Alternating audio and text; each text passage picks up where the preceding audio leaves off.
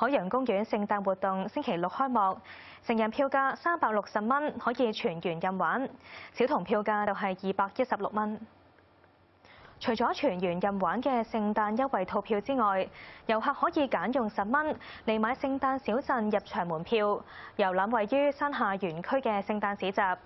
今次係海洋公園第一次分開出售山下園區以及全員任玩嘅兩套門票。